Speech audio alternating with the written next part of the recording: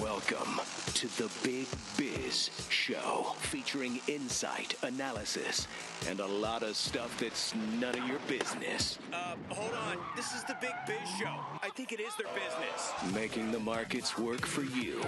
Here's the man with the plan, Sully. Man, see that boxing video? I started boxing again. Man, am I out of shape? Let me prove out of shape, man. I'm gonna tie my shoe. Yep. No, I'm not there yet. There you go. Uh, Yeah. the- Yep. There we go. And then you got to watch It's a the head four-point rush. turn to The get six, up. the pin- Oh. six point Watch, head up. watch the head rush. That that'll get you every time. Yeah, same. Right. Okay, I feel better. How long does a boxing uh, Hour. set?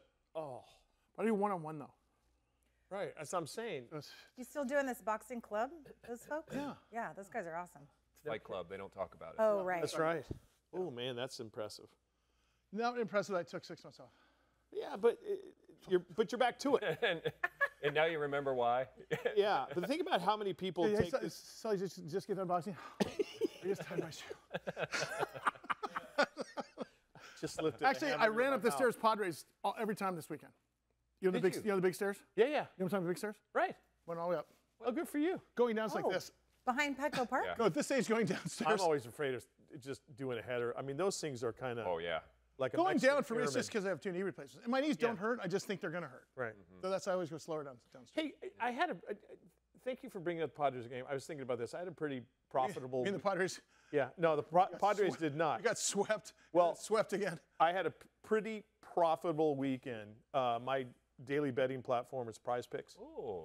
So I was betting. Daily betting I always thought it was prize pigs. Yeah. No, oh, me Prize too. Picks and radio. Yeah. But Prize Picks, and I was betting against the Padres. You uh, did? Well, it was the Phillies, right? Well, as long as Phillies, you're not yeah, a player. because Garrett was in town. I don't know. Uh. I don't bet against the Phillies ever. No. But are we, is the day and age quickly approaching where we're going to be able to sit at our seats at the Padres game in your box? And it's, it's got to be right around the corner, right? The prop bet on. Do you ever bet on sports? I Have do you- not. Yeah, but Robinson's, you're talking about because do you remember? We can talk about this uh, because I want to talk about this because it's a great subject. There was a, there was a game on. Uh, it wasn't called. It was called Cox Cable at the time, way back when, Yeah. and they had it. It was called QB1. You won. My buddy's dad, uh, Pat Downs, started QB1 right here in Carlsbad, by the way, where we brought. You might be watching us in the whole wide world, but but right here in Carlsbad is where we where it started. QB1 was where you had a wireless device in your hand. Believe it or not, wireless. Wow. This is 1993. Was it There the size are of a brick? no cords. Oh yeah, it That was. must have been It was, huge. like, it was like this. yeah, yeah. Right. yeah. Hold on, hold on. I got a call. yeah. and the and the base and the base was on the TV itself. Yep. According to the coax. Remember trying to get those. Yeah. Oh yeah. Ugh. and you had a thing in your hand and you're watching Monday Night Football, only Monday Night Football, and you had to predict the next play, No way. No way. run, pass, interception, whatever. And they had a whole control room like our control. Jared, show me the control room that we have back there because th- th- theirs, theirs was six times this size. Yes. A giant control room. There it is right there. Emmy Award winning director Jared Coleman doing nothing but standing around going, Yeah. Um, and it was wildly popular. And then and- And, Absolutely. they tried to add monetization to it because you could gain points. You know, it gamified it. Yeah. It's- Yeah. it's who was the best, whatever. That's all mm-hmm. it was. And I I think they won QB one shirt at the end of the year or something like that. Yeah. But it was to say the, the fact that you say that on a proposition bet, meaning that bet on anything, curve, slider, fastball, Well, run, if, yeah, home run, double, triple, Every- error, Ooh, every single play. pop out every single play you can do it. Now, granted, if Let's you're just do it anyway. Yeah. Yeah. totally. I mean, Have you ever passed the jar at a game where, you know, you mean the mason jar? Yeah. well, yeah, okay, besides that, but you, you know, someone has the jar and they put a buck in, and hey, I think Tatis is going to ground out for this at bat. Mm-hmm. And then if he does ground out, you take the kitty, the next person starts it, and it goes around and around. Well, sometimes that money builds up in that jar. So mm-hmm. I think that it's a situation where it, it, it's got to be here. It's coming. It's it's it's right around the corner. There's no way they can keep it oh, out. Yeah, I agree. That would make I agree. baseball more exciting. Yeah. You would have I mean, won a lot of jars last night. I because I think Tatis grounded out several times. Oh for four. Let's continue this because I have an idea. Okay. I'm in. Because it doesn't have to do with money. Without any. It ha- I mean, it doesn't have to have. It doesn't have to do with wagering. Big Biz Show. We're back in a second. I bet on American Idol. Welcome to the Big Biz Show, featuring insight, analysis, and a lot of stuff that's none of your business. Uh, hold on. This is the Big Biz Show. I think it is their business. Making the markets work for you. Here's the man with the plan, Sully. we got introduced to Kam Mahdi. He is the CEO of Clean Energy Technologies, CETY. Do you think um, that we jump the shark on clean energy, let's just say with EVs, or let's just say with solar, or let's say with wind power? Because I still am not convinced. Germany led the league, to use your parlance, Mr. Sports Guy, mm-hmm. in solar energy for many years. They didn't have the infrastructure and it went toe up from the flow up, as the kids say. Mm-hmm. So, so what, what is your opinion of that? I am going to turn it over to Kam to tell us what the situation. I don't know if I have an opinion. Well, on because- except for I don't know how accessible it is to business. Because look, there's clearly something happening, and, and, and the expert on global energy markets, of course, Kam Mahdi. You know what I'm saying, right? I mean, Yeah, I get we- that. we've been ready for this for a long time, ever since we had the ecology sign back in 1972. Do we have the infrastructure globally to actually deploy what you're talking about? I, I do think we do today, uh, but I do think you have to have an open mind Yeah. and be adaptive and ready to change. So sometimes you're early, sometimes you're late. Yeah. So um, I was an outsider coming into the clean energy world um, through a repositioning of a previous business that I was running, uh, and I thought this was up and coming, and I thought decarbonization is a ship that is not going to turn around. I don't think so either. but but but but but for you, you what I like about what you guys are doing, because the word infrastructure keeps coming in, right? I mean, the, the, the backbone keeps coming in. This is not a short-term solution. You're not, you know, making uh, lithium batteries. You're not, you know, working on EVs. You're working on the entire solution. My question is, I think we're already politically ready. I think we're all, you know, who wants to live like Mike Costa, who uh, throws baby sea lice out the door while he's eating his McDonald's plastic things um, and polluting. But honestly, I, I, what I'm, my concern is we've got all this great technology, okay? And, and again, let me go back to something that, that it doesn't have to do with you, but look at all, look at Teslas.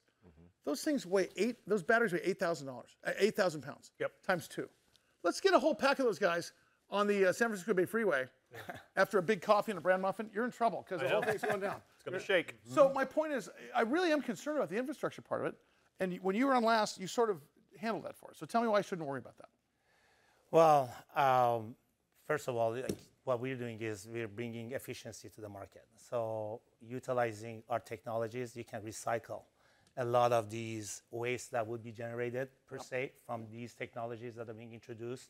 So we are addressing the end-to-end aspect of managing the clean energy. Which, by the way, the end-to-end thing needs to be.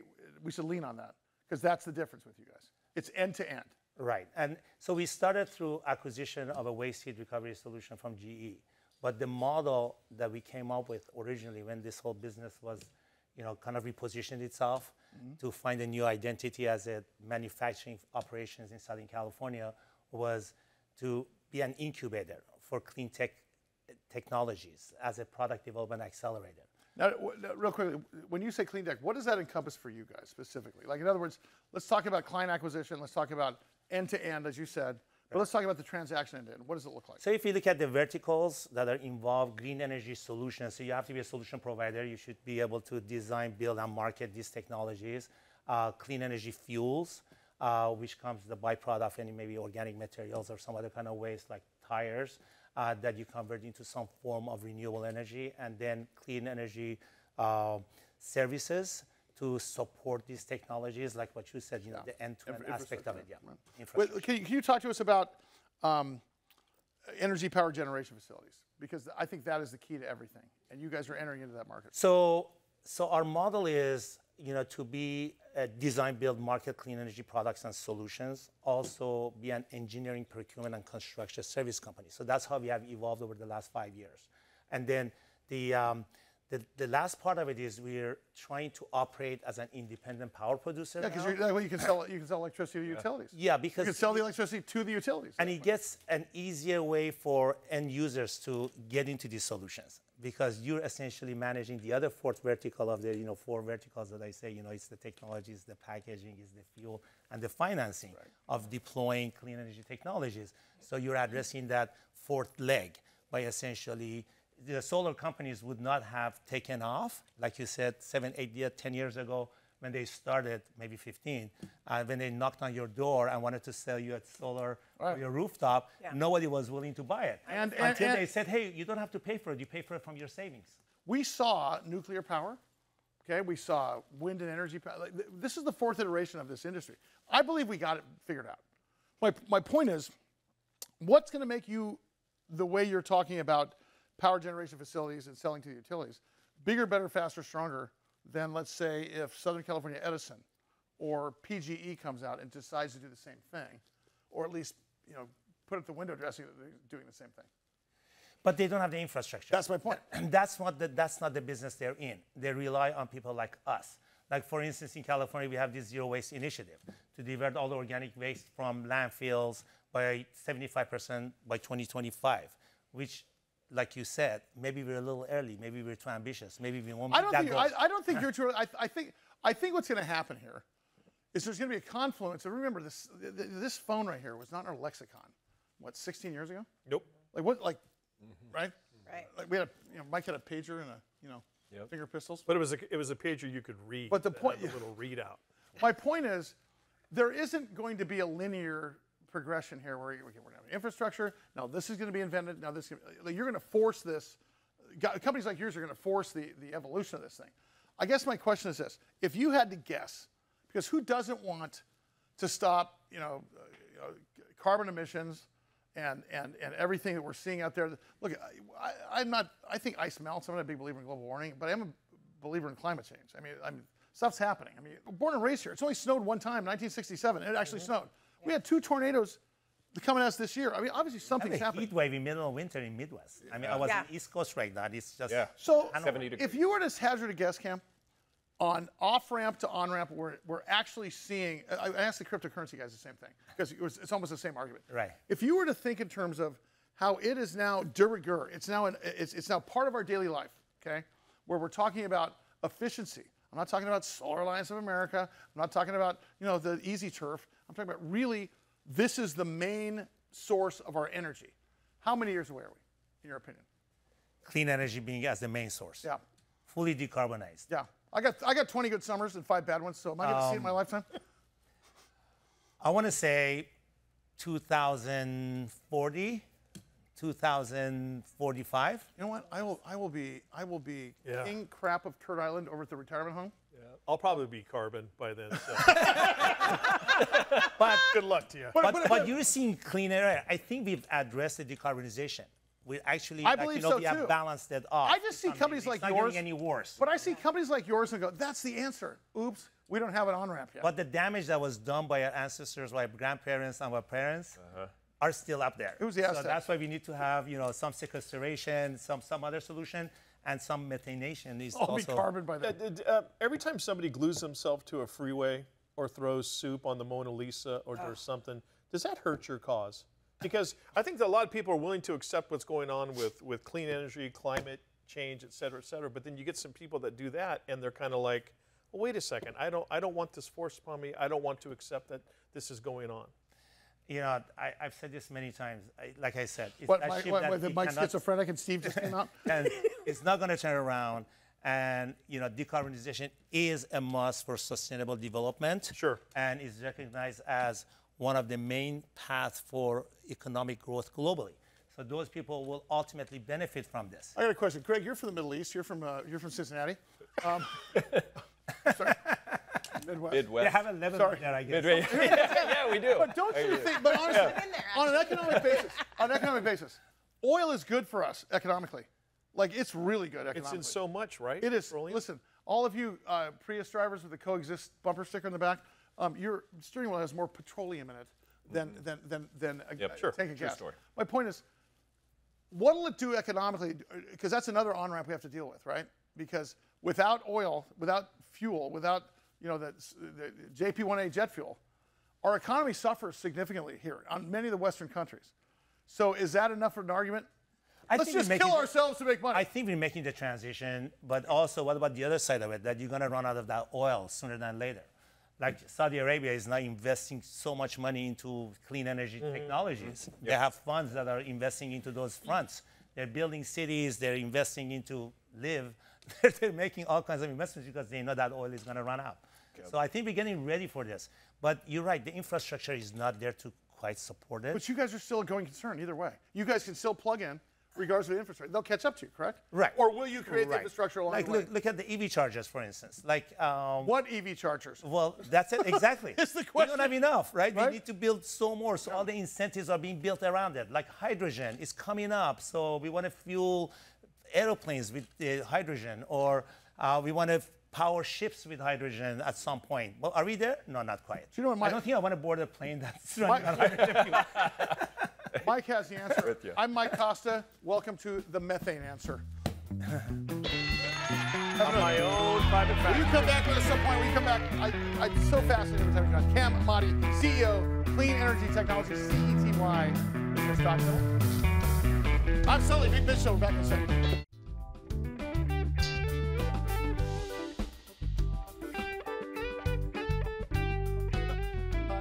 Eric Schlorff is our guest. He's a CEO of a company called Yes, SeaStar. Medical Holding Corp. One of our favorite things here, other than uh, God, I hope he's not short. well, listen, we get we we we interview celebrities, authors, CEOs of public companies. Greg got an email from one of the shareholders of this company. I believe so. and uh, Eric uh, runs a company that's really uh, interesting about unmet medical needs uh, in life-threatening situations. I'm I'm in a life-threatening situation right now. Eric, thanks thanks for putting up with this. Great to have you on the show. How are you? Oh, thanks for uh, inviting me. I'm, uh, I look forward to uh, sharing our story today. Can you talk to us?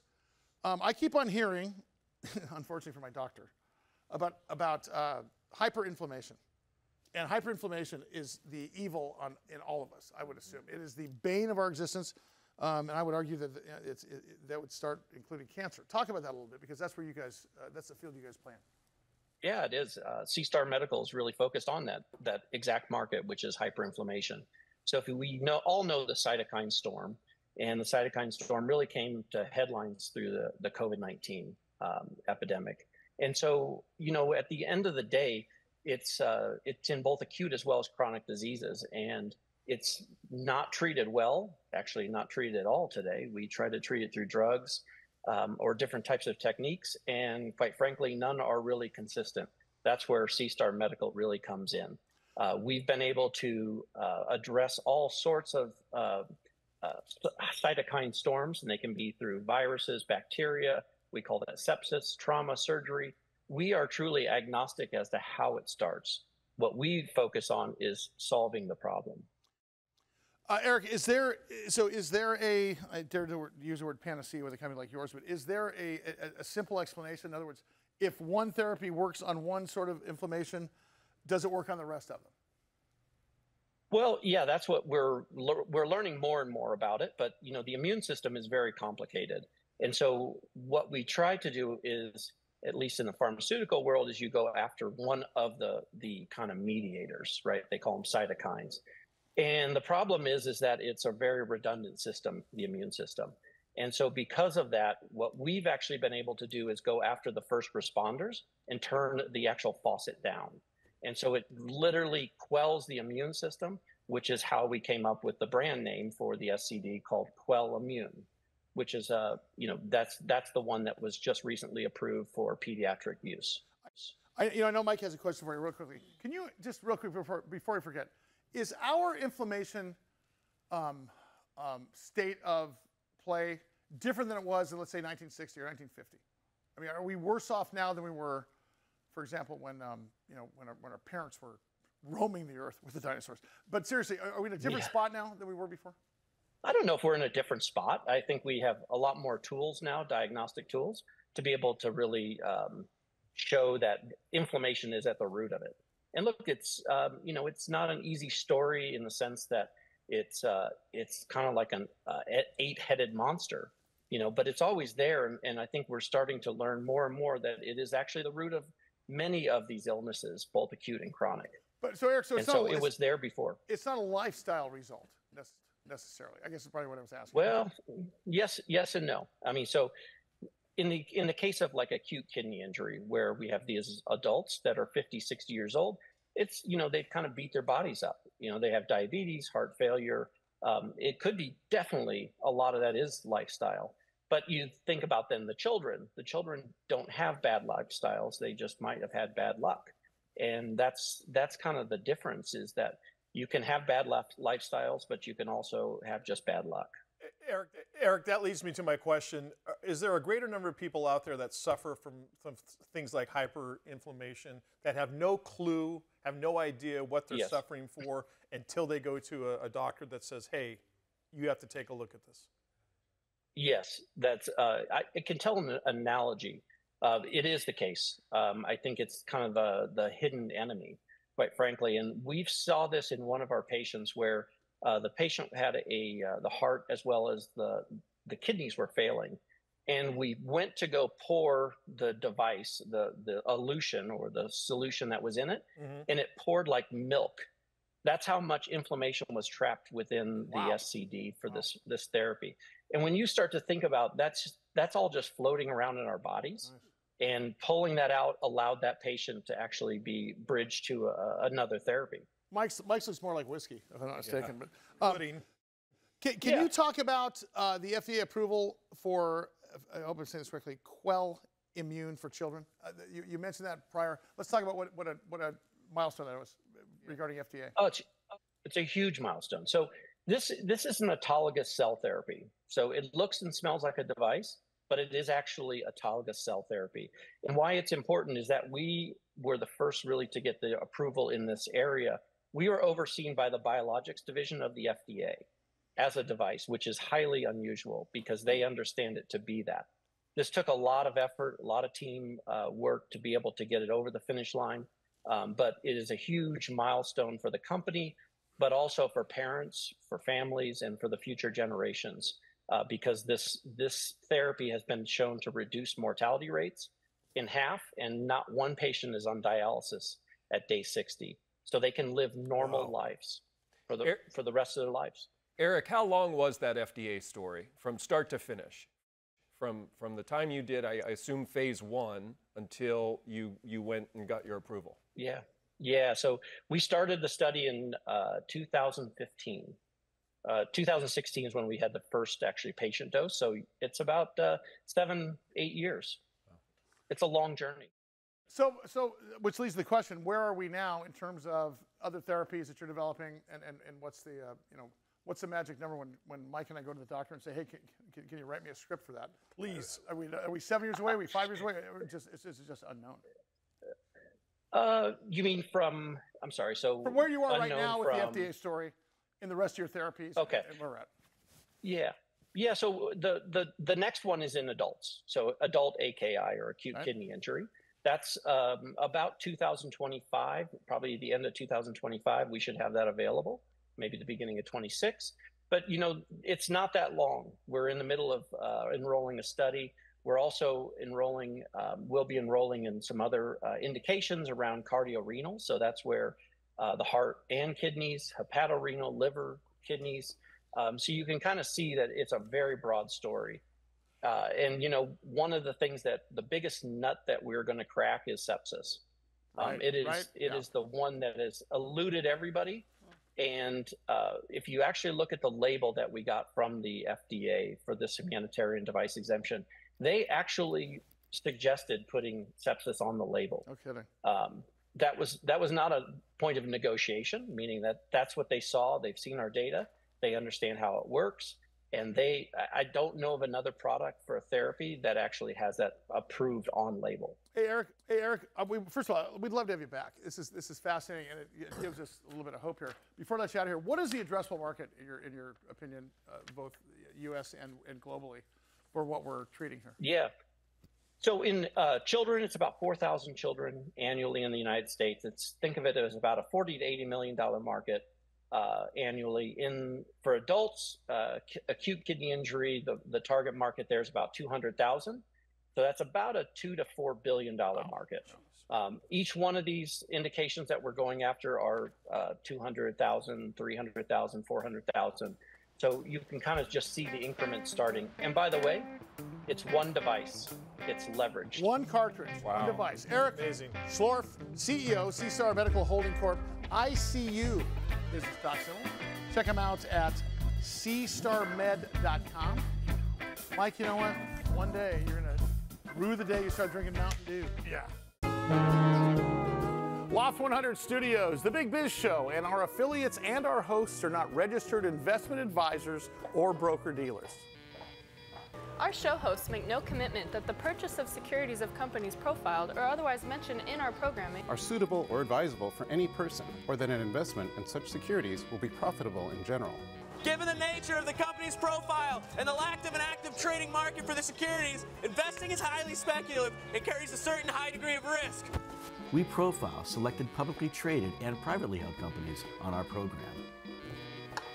Most of these companies that we profile have provided compensation to Loft 100 Studios and its hosts for the profile coverage. From time to time, we sell shares of the companies profiled in the open market that we receive as compensation for coverage of client companies. But never sell stocks. If we are speaking about interviewing or covering a public company who has paid compensation. Specific questions on compensation can be obtained by contacting producer at Solientgroup.com. Listeners should verify all claims and do their own due diligence before investing in any securities mentioned on this program. Investing in securities is speculative and carries a high degree of risk. We encourage our investors to invest carefully and read the investor information available at the websites on the Securities and Exchange Commission at sec.gov and or the Financial Industry Regulatory Authority, FINRA, at www.finra.org.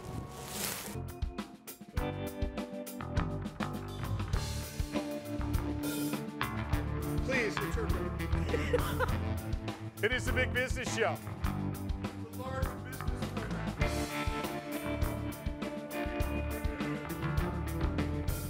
I keep forgetting, babe. Oh, wait, what? Keep forgetting, not enough anymore. Opening for Sullivan. They'll never be the same. Sorry, asthmatic again. It is the Big Biz Show. Thank you for being here. Brian Kobel is the CEO of TC Biopharm Holdings. Uh, he's becoming one of my favorite people. I get to talk to him off the air because we're talking about a number of things with him. TCBP is the stock symbol. Um, they are a lead product uh, for platform therapeutic in multiple diseases.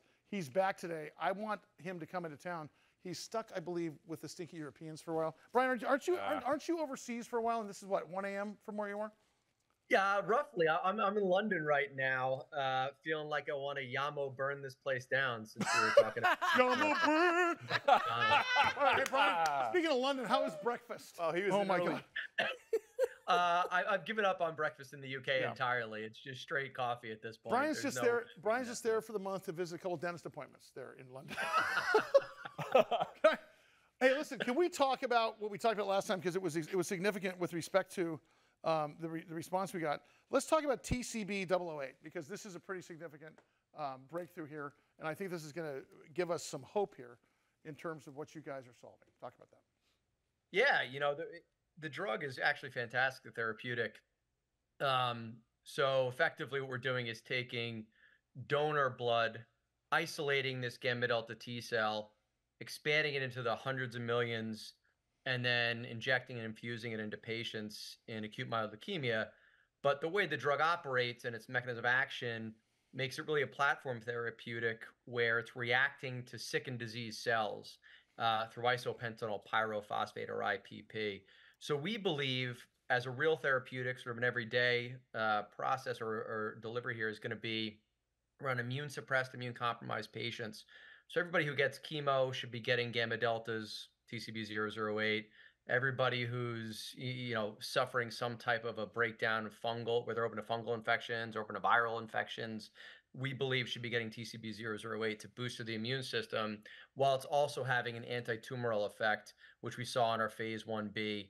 Um, so it's a really exciting product. Um, you know, we think it's got a, a number of applications here. Uh, obviously, not a panacea, but we do see it being really, really impactful globally here, um, and also in combination with a number of other things in standard of care.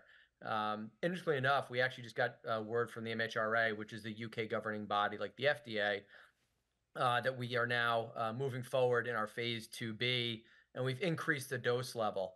So, you know, effectively what that means is the DSMB looked at our data, um, you know, saw the safety levels here, I mean, the low toxicity and no toxicity, um, and in conjunction with our investigators, agreed that we should increase our dosing uh, in patients right now. So we're seeing this kind of happen in real time, uh, and it's just it's incredible, honestly. Hey, Bri- but Brian, you know, uh, MHR, this is a, that's a big step. I don't want that to go over anybody's head because, um, how's that scotch and soda there, big fella? Um, let me Uh, I ask you. wish it was scotch. Um, um, Mike, uh, can I stop down for a second? Also, when he's talking about fungal infection, how is the herpetic lesion? You okay?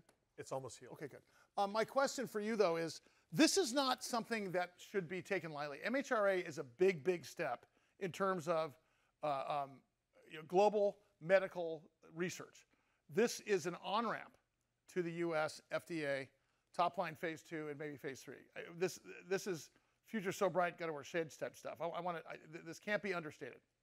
Hundred percent. You know, it, it's it's really doing two things for us, right? What we did for the dosing level was increase it to the medium dose level in our U.S. trial. So we believe that we can go back to the FDA with data here at that dose level and expedite our phase one trial in the U.S. Uh, and moving quickly to that medium dose level once we show them the safety data um, uh, with these patients. Additionally, we went from an inpatient procedure, meaning you have to be in the hospital overnight to get our uh, treatment, to an outpatient procedure. So now these patients come in rather than having to be stuck overnight, you know, locked in a room. They get this, they get the shot, the infusion. They sit there for a little bit and then they walk out and go home, uh, which tells you something about where this could go potentially when Yeah. you start talking about the global market. Brian, Brian, when you talk about effi- efficacy and safety, um, when you get that kind of nod from MHRA, does that make it easier to do compassionate care in the U.S. Uh, for, uh, as an on So uh, it's an interesting, yeah, it's an interesting question. You know, we believe that this data will allow us to go back to the FDA with a whole range of applications here, um, and we're actually already sort of putting ourselves in position there. We have a couple calls over the next couple of weeks uh, with groups that might be able to help us access compassionate care use uh, in a couple of different applications. Obviously, we're still waiting on proof of concept in Candida and Aspergillus, both of which uh, are current unmet medical needs in the U.S. So that's an area we could quickly expand the platform. We hope with this data. Hey, Brian, um, um, with respect to what you're concentrating on next, talk about the next six months and so much as a CEO of a public company you can. Um, is it come down to uh, continuing to concentrate on, on, on what you're accomplishing where you're at now, or do we start focusing 100% on maybe a JAMA publication or something to get the U.S. to kind of open their eyes to you know, phase two, phase three, uh, and eventually approval? Yeah, there's there's a couple things. You know, obviously, you know, the clear and present is focusing on TCB 008 in the AML trial, which we will then, you know, move ourselves into publication um, in Nature or JAMA, something along those lines. Try and get ourselves um, maybe into ASH as well Sure. uh, at the end of the year. Um, obviously, we believe that that antifungal application is really important. So we're looking at things like a basket trial in immune suppressed, immune compromised patients, where we would where we would dose you know 20, 30 patients in various fungal infections at their immune suppressed, immune compromised levels. Try and get a lot of data there. Um, and I think one of the things that I'm watching in just cell therapy, which obviously is applications to us, is this idea that people are starting to roll up and acquire Sure. cell therapy companies. Well, that was Um, even my question. I mean, do, uh, what's the exit strategy? Do you take this a, a risk aversion model to where you get acquired by a bigger company like you're talking about, or do you, you take it to the, to the young men and women that are pulling suitcases in the doctor's offices, do you take this to the one yard line, or, or uh, what, what, have you guys thought about that, or is it catches catches catch can when it comes You know, after I- approval?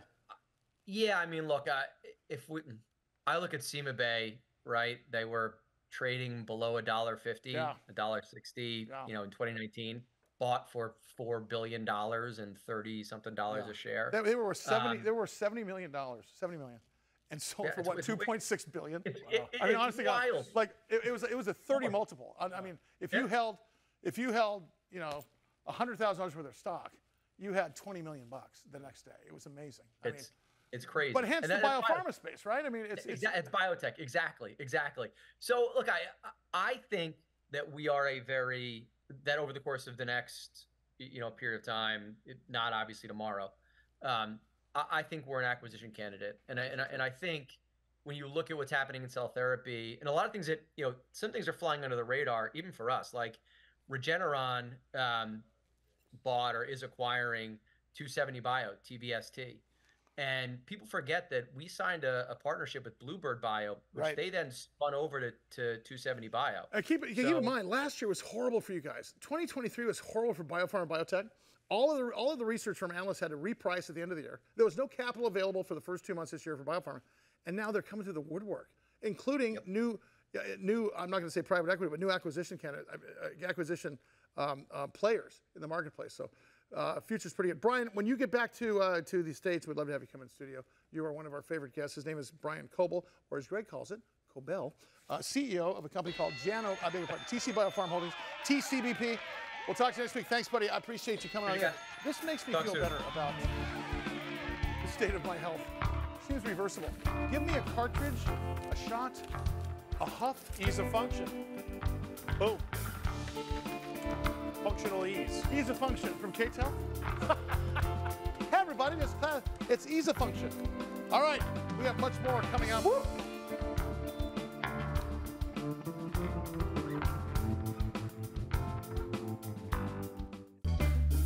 I can't forget him, baby.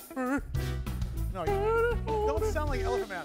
Sound like Michael McDonald. I can't forget him, baby. Not. Big Biz Show. Little little musical uh, trivia for you. Oh, I can't wait. Did you Uh, put pancake on? Did I? Of course. Uh, Mrs. Partridge. Yeah, Shirley Jones. Yeah. She, uh, she was opposite of me in my, in my Fair Lady. She was in Music Man She too. played Laurey in Oklahoma, Yeah.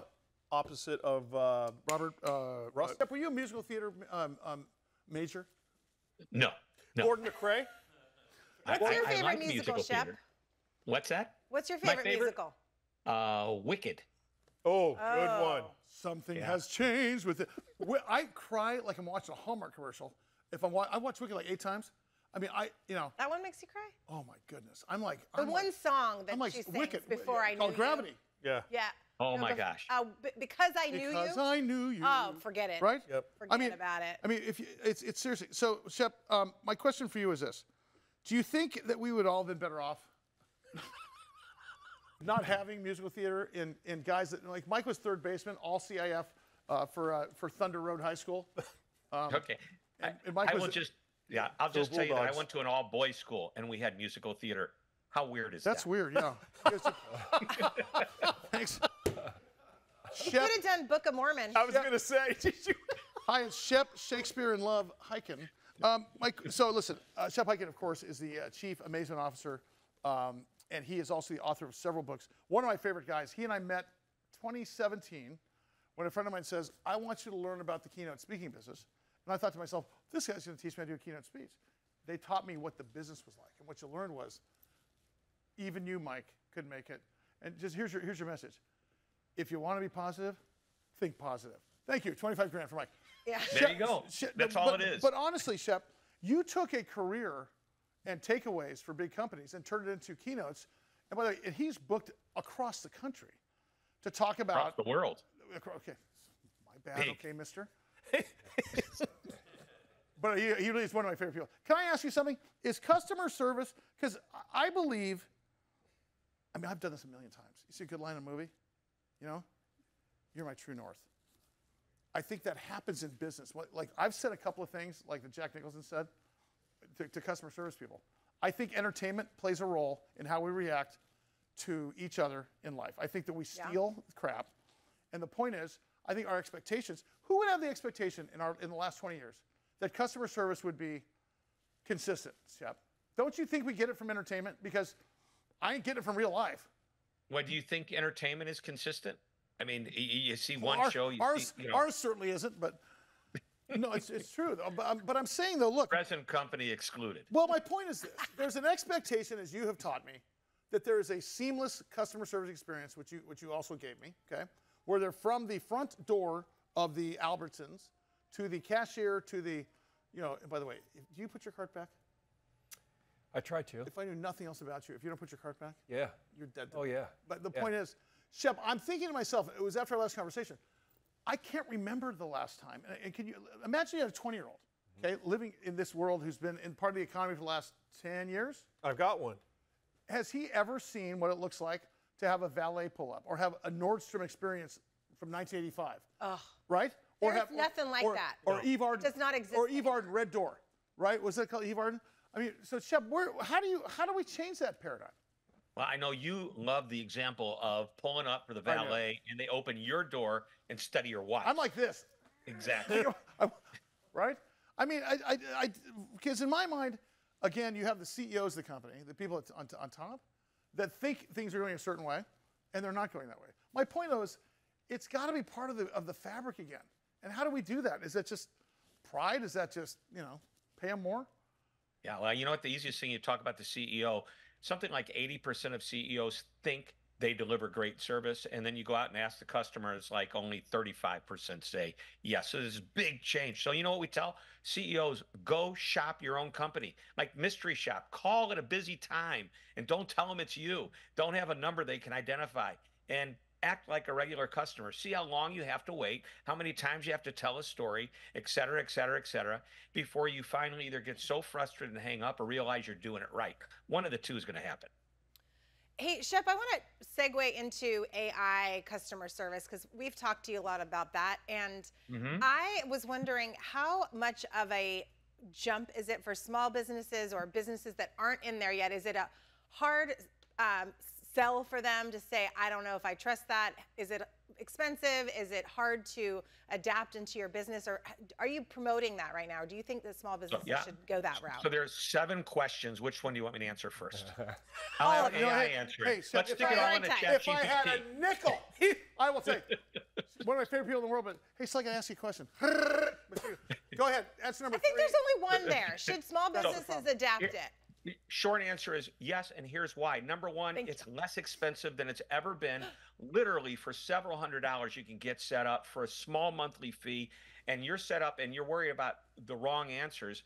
You can program the computer to understand it can't go anywhere else to get answers but the answers that you give it. So if you've got a, a an instruction manual, uh, operations guide, just drop it in there as a file, and ChatGPT will go in there, or ChatGPT like technologies will go in there and answer the question. And when the customer says, I don't understand, explain it to me like I'm in sixth grade, it'll come back and explain it exactly the same way, different sign of language, so that the customer can understand it. It'll do it in multiple languages. So all of a sudden, you've got multilingual customer support. And I'm talking for hundreds, not tens of thousands of dollars, even millions of dollars like it used to be 5, 10, 12 years ago. Shep, I have a question how much money are companies saving by not having live customer service? Because I, am like, I'm the king zero. And, and of course, now they're smart and say, you know, start over again. I mean, I, are they losing that much money on having a, what do they call that? Call center? Yeah, call center. Yeah.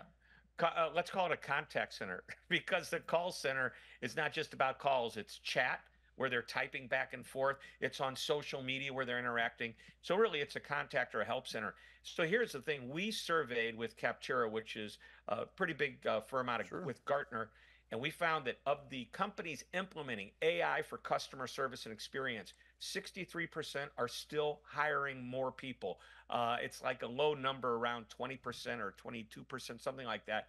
Don't quote me exactly, but it's close. Are actually saying, yeah, we're reducing a few people here and there. Think about that. It's not replacing people, it's allowing the easy experience or the easy questions to get answered quickly with AI, and then the people step in and deal with more complicated, uh, difficult questions, and uh, they make customers happy. There is a balance. I agree. Uh, co- yeah, companies want to send people to support uh, AI self-service first, but they've got to have a good backup. I like it when uh, when uh, Costa's returning some uh, Levi's moving on jeans back to back to Gap. He says, "I'd like to return these because they don't fit right." And the ChatGPT says, "Just how big are you?" They were a 32 some waist when I pounds. bought them. Just how big are you? Chef, we'll see you next week. Are you a circus elephant? Can't wait. What the hell? Is that your head or your neck blow bubble?